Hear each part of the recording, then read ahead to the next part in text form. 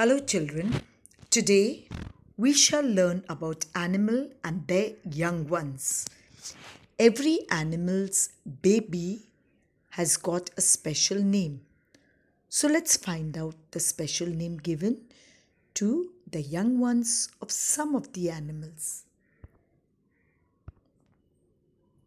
Here, what you see is a cat and the baby is called a kitten.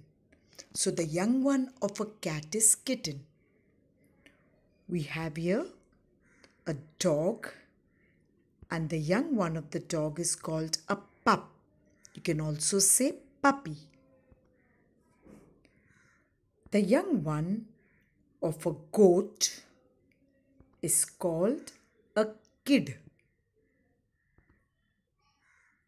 The young one of a deer is called fawn. Here we have a lion and the lion's young one is called a cub. This is a tiger and the young one of a tiger is called once again cub. Here what we have is a bear and the young one of a bear is also called a cub. This is a hen and the young one of a hen is called a chick or you can also say chicken. This is a frog. Now look carefully at the young one of this frog. It's called a tadpole. The baby or the young one of a frog is called a tadpole.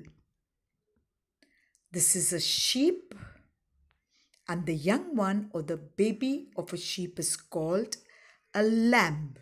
I'm sure you must have learned the poem Mary Had a Little Lamb when you were in the junior senior KG. This is an elephant and the young one of an elephant is called a calf. This is a cow and the young one of a cow is called a calf. So the elephant and the cow, both their babies are called calf.